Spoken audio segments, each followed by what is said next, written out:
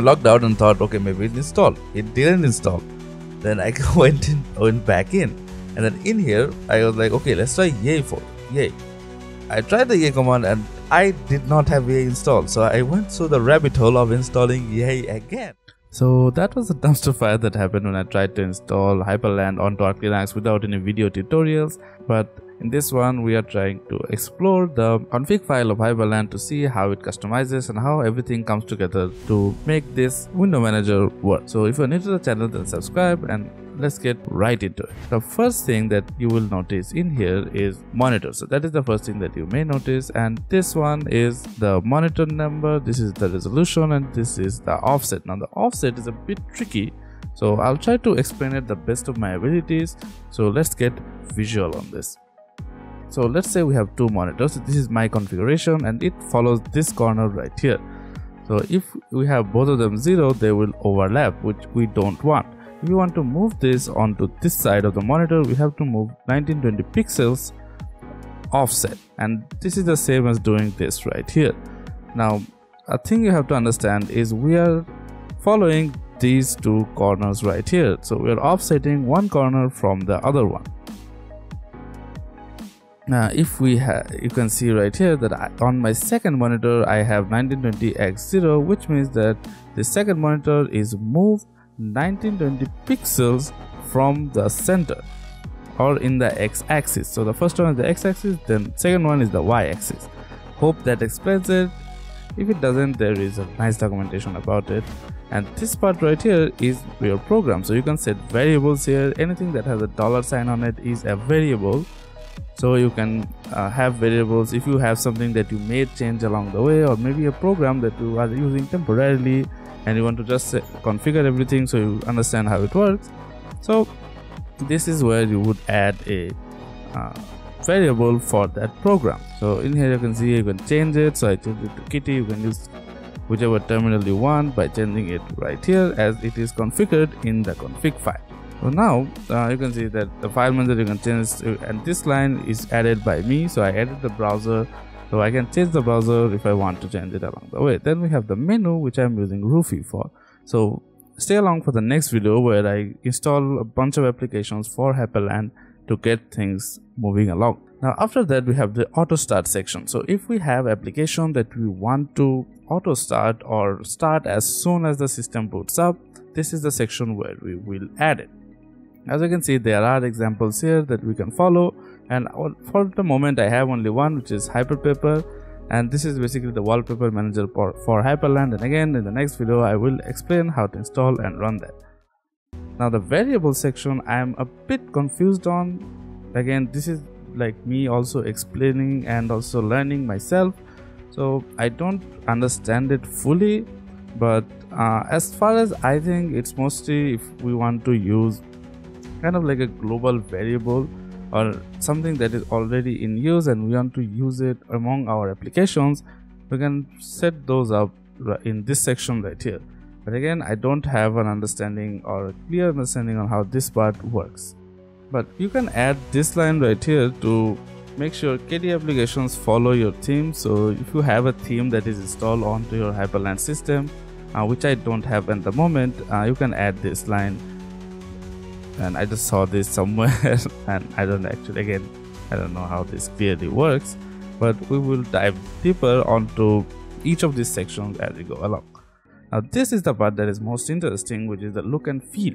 So every section in here you can see there's a gaps, there's border sizes so we can play around with these numbers to make sure how each thing looks and how each of them works. Now most of these things are kind of self-explanatory so you don't have to go too deep to understand what they do.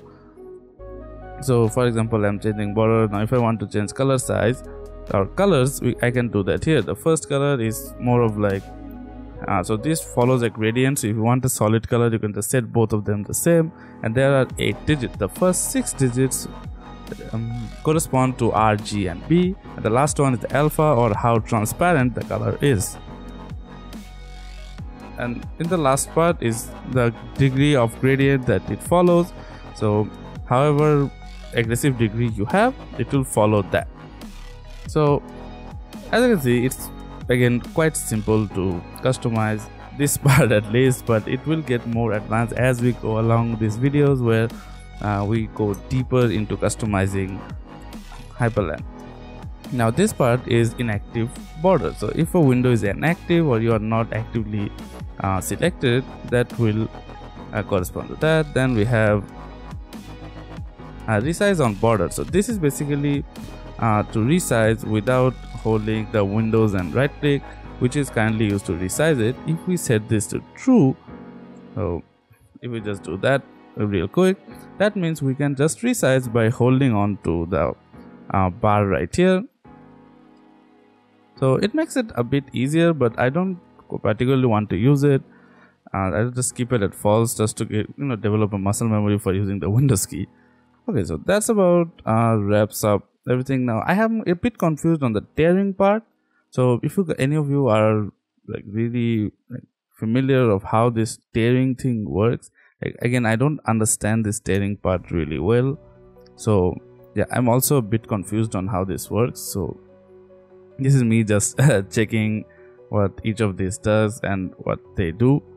But this is a layout. So how the layout is so in the window layout any window you have selected with when you create a new window it will just split that active window and mm, just add another window there. So that is basically what Dwindle does. When there is the master which will basically have one window like one large window at the side and anything you create new will push that larger window onto its side. So it's a bit more predictable and again it, it makes it a bit easier to use but uh, i do change it uh, on the uh, next one. So again subscribe to the channel to see that as well. Now in this part this is the decoration so how the overall system looks and the roundness is uh, how sharp your corners are and i am i don't understand this rounding power thing so i'm also I'm a bit confused on it uh, what rounding power means. So yeah but as soon as i type 20 everything just goes haywire. So that's something. Then we have active opacity and inactive opacity. So if something is inactive it will uh, be a bit transparent which uh, it looks nice to me. So i just have to have it a bit transparent so 0.9 so that's almost minuscule but it kind of like made it look a bit nicer. Then we have a render part. So this part like from this point on uh, i was like overall a bit confused on what everything is.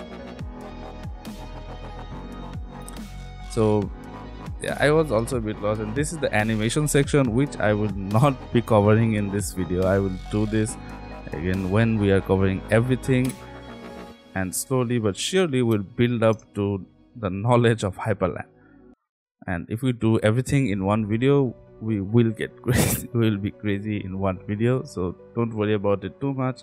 Uh, whatever you've seen uh, you can play around with it. Then we have the keybinds so this is the part that is really interesting and really useful. So you can add custom keybinds to for specific programs that you want to use. And for programs you just have to type in the exec command which means execute. So basically you are typing in the terminal the same thing as typing in the terminal when you do the exec command. And there are other special commands in here. So i would recommend you kind of memorizing or uh, getting used to using these commands. So that's about it for this video. There is a lot more to cover in here.